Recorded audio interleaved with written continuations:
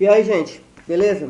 Vou falar pra vocês de uma coleção da Folha hoje, que já começou a sair faz um tempo já. Não sei se quando for ao ar esse, esse vídeo, se já terminou a coleção, acredito que não. Mas tá. É, é, coleção Folha, grandes biografias do cinema. Eu gosto bastante das coleções da Folha. Está, acho que Estadão também tinha coleção. E geralmente são coleções que falam sobre literatura, é, cinema, geralmente é literatura e cinema, mas eles também variam para música e algumas artes, artes plásticas, outros fotografia, várias coisas. Então a, a Folha tem uma importância assim para divulgar cultura, porque as suas coleções não são só coleções pomposas nos títulos, coisas importantes, mas também são coleções baratas. Eu acho que é isso que é importante para divulgar a cultura, porque não adianta se só ficar empurrando o, a arte para a pessoa e a pessoa ter que tirar, sei lá, 50 reais para poder comprar um negócio, porque você não vai divulgar, você só vai divulgar a arte para a pessoa que já tem acesso à arte, que não adianta tanto, né? É, essas coleções folhas, no primeiro vem o, o fascículo falando o cronograma da coleção.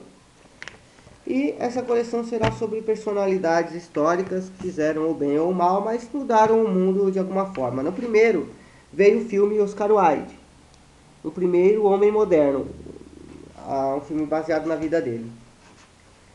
É, tem, o encarte tem aqui os, os dados técnicos do ator que faz o Oscar Wilde, tem do próprio Oscar Wilde, que é o do escritor, fala um pouco sobre a obra do Oscar Wilde, então por isso que eu achei legal, porque tem, não é só um, um DVD, não é só o filme que eles resgataram, tem todo um trabalho, um estudo aqui sobre a obra que serve como uma pequena enciclopédia ou biografia. Fotos do filme. É, daí também tem dados sobre o filme, dados sobre o ator do filme, que nesse caso é o Stephen Fry, e dados sobre o diretor.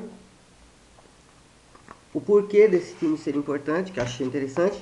E o filme vem aqui, nessa capinha. O que eu achei bom, porque é, muitas das coleções, pelo menos umas duas coleções antigas que eu já fiz, eu não sei se foi a do Chaplin foi do de música de óperas, que, é, que são muito bons também. É, eles colocam uma borrachinha e você coloca o DVD aqui, muitas vezes para encaixar, você gira o CD assim e acaba que estraga mais facilmente. Tanto fica muito exposto, porque quando você fecha, pressiona o DVD. Mas aqui, colocando uma capinha assim, né? É prático e não estraga, não compromete o DVD. Mas vamos lá. Falando sobre Oscar Wilde, o primeiro homem moderno. Esse filme é de 1997. É, o diretor é o Brian Gilbert. E tem o Stephen Fry. Foi muito, muito feliz a escolha do Stephen Fry. E aqui tem um documentário sobre a feitura, os porquês desse filme e tudo. O Stephen Fry, ele, ele é um cara muito antenado, sabe? O Stephen Fry tem até um, um site onde você pode se comunicar, mandar alguma mensagem, alguma coisa para ele. Claro que vai demorar um século para o Stephen Fry responder, né? Mas o Stephen Fry tem semelhanças com o Oscar Wilde, porque por ser um artista e por ser gay também, então ele compreende muito dos dramas do, do Oscar Wilde. Embora o Oscar Wilde eu acredito que seja mais para bi do que para gay. O Stephen Fry, ele no documentário é engraçado, que ele fala que ele se sentiu um pouco constrangido por ser gay e ter que fazer cenas de sexo gay nesse filme, porque os atores homens, os casos do Oscar Wilde no filme, são atores héteros, né? Tem o Jude Law e tem mais uns outros aqui. E o Stephen Fry falou que ele se sentiu constrangido por causa disso, porque ele pensou assim, né? É, e será que. E se o ator achar que eu tô tirando uma casquinha dele, que eu tô me aproveitando disso, né? É interessante esse negócio do Stephen Fry. Stephen Fry, o contato que eu tive com esse ator apenas, eu acho que ele faz um detetive numa série desses canais de arte, não sei se é Eurochannel, alguma coisa assim, é, filmes em arte, alguma coisa assim. O Stephen Fry faz um detetive lá, numa série que tem, só que tem uma música do Zé Cabaleiro, que ele fica que canta assim, né? Por onde, anda, por onde andará o Stephen Fry, ninguém sabe do seu paradeiro, ninguém sabe para onde ele de onde ele for, vem, para onde ele vai. Alguma coisa assim. Agora sobre Oscar Wilde. Por que o primeiro homem moderno? não é pelo fato dele ser um escritor e ter tratado de temas como, sei lá, beleza, é, alguns sentimentos e, e, por sua condição né, de homossexual, não é por causa disso. É porque apesar desse negócio do, é, do homossexual tudo mais, de amar uma pessoa do mesmo sexo, o Oscar Wilde tinha aquele negócio da quase uma vida dupla, sabe? E ele amava, parece, a esposa dele. Ele tinha filhos, ele amava os filhos, tudo mais, era pai de família, normal.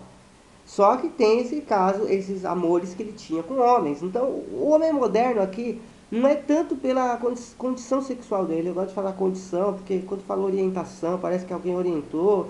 Quando fala. Ah, sei lá, tem tantos termos que fica estranho, então eu falo condição porque. para facilitar. Então, o homem moderno, na verdade, não é a visão tanto da sexualidade, é, é assim, de amar um homem ou uma mulher.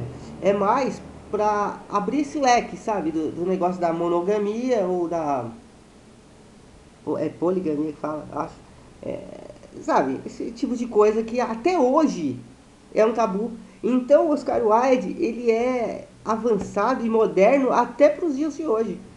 Porque até mesmo entre homossexuais tem essa coisa, né, da monogamia, etc, assim, né, e ele não, o dilema dele não era tanto, ah, meu Deus, eu amo um cara, do, um, uma pessoa do mesmo sexo, mas era, caramba, eu amo essas duas pessoas, aí é por iguais, né, e ele é honesto, eu não sei se ele fez, eu acho que foi ele que fez uma novela, um teatro chamado As Vantagens de Ser Honesto, Ernesto, sei lá, alguma coisa assim, e ele ele era honesto e a gente compreende no filme essa honestidade do Oscar Wilde, que é uma honestidade consigo mesmo, sabe?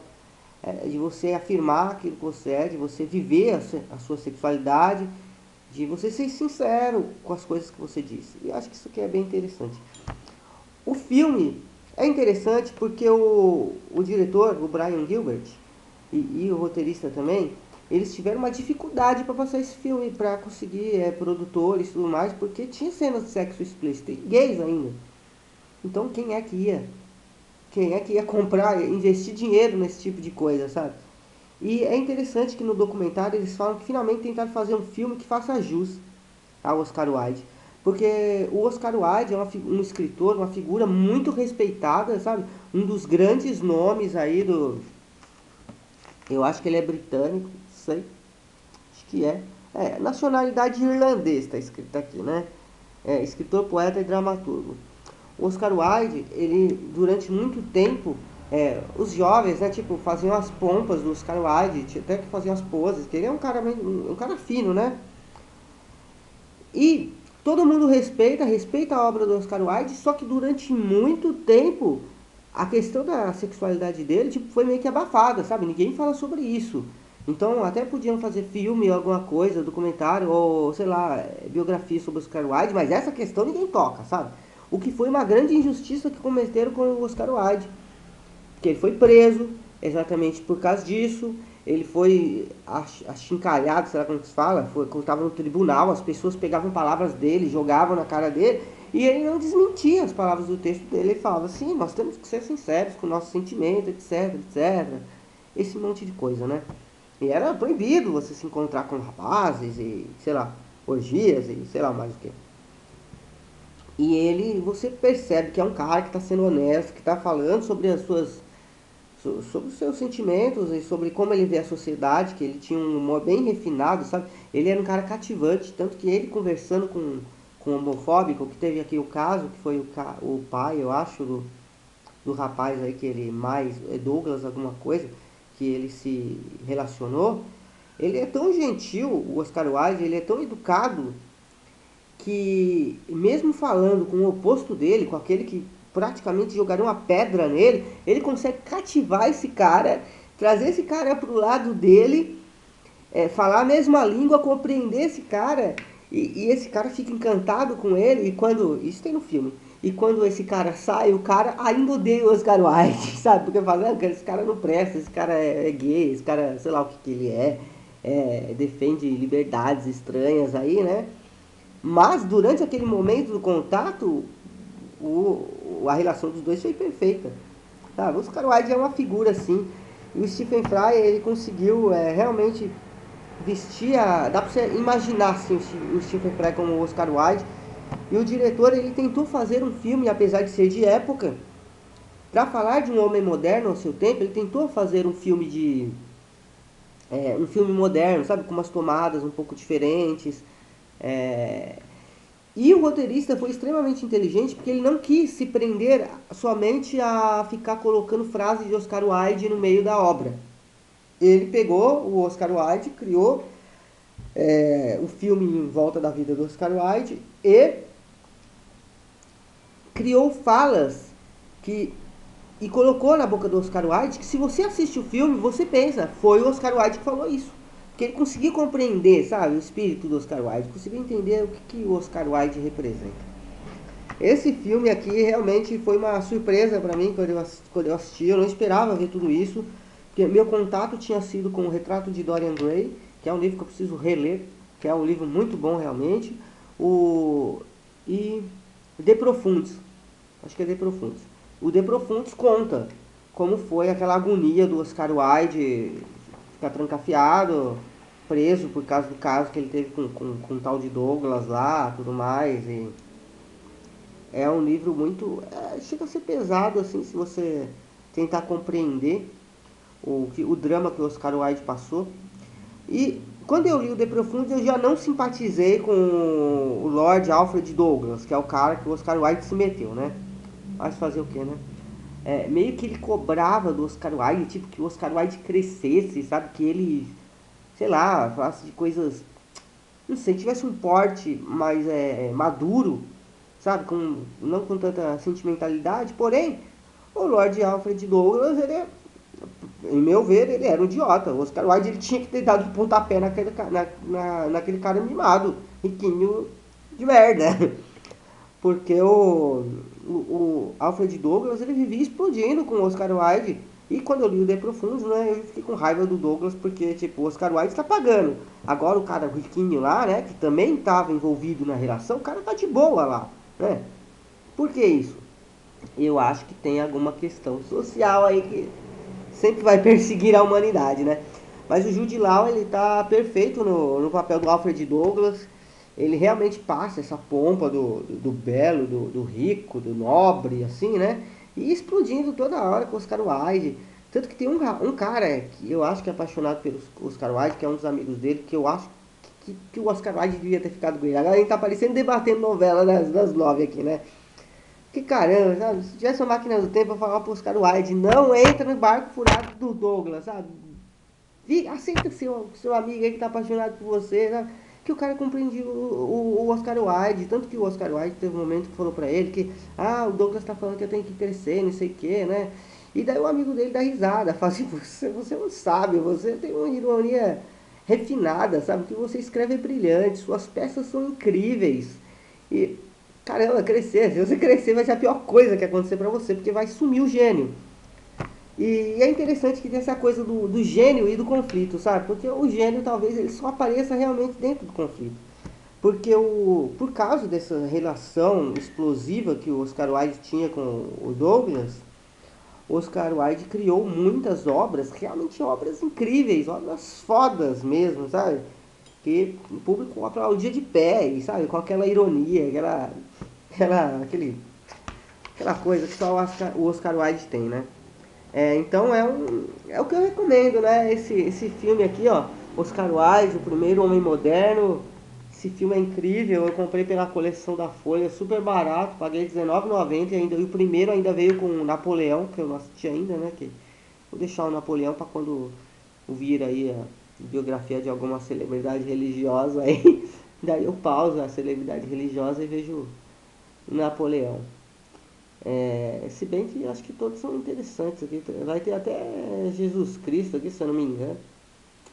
Mas Jesus Cristo, eu já vi tanta coisa sobre Jesus Cristo que eu acho que daí quando chegar nesse Jesus Cristo eu vou realmente ver o Napoleão. É, mas é claro, vou ver o Jesus Cristo ainda. Tem um que vem, que é o Evangelho segundo São Mateus, que eu não sei se é um do Pasolini, acho que é isso, que deve ser incrível também. É... Ah, o Evangelho segundo é de Jesus Cristo. Não é eu falando aqui, né? Se, por causa do diretor eu vejo. É, então, ó, muito recomendado, sabe? Oscar Wilde, ele é sempre atual, ele é moderno até para os dias de hoje. E é isso. Foi um filme que valeu a pena mesmo. E tem um encarte com todas as informações que vocês, que vocês precisam sobre o filme e sobre Oscar Wilde, sobre o ator, sobre o diretor. É um encarte bem completo mesmo. E eu acho que é isso. Então, se vocês quiserem ver o filme, sei lá, procura na internet aí que deve ter. É um filme de 1997, nem é tão antigo assim. Procura na internet ou vai atrás da coleção mesmo. Mas se não achar a coleção, só o filme já, já manda o recado já e vocês vão entender. Tem um documento. É, a vantagem, do, pelo menos nesse caso do, do filme original aqui, né? É que tem um, um extra, que é um making off de 56 minutos, que daí os diretores explicam tudo. Falam sobre esse negócio do roteiro, do, da vida do Stephen Fry, falam do Oscar Wilde, falam da injustiça que a sociedade cometeu com, com Oscar Wilde em reconhecer o, o gênio e a obra, porém abafar essa injustiça que a própria sociedade fez com ele por causa da condição dele, sabe? Então é isso, falou.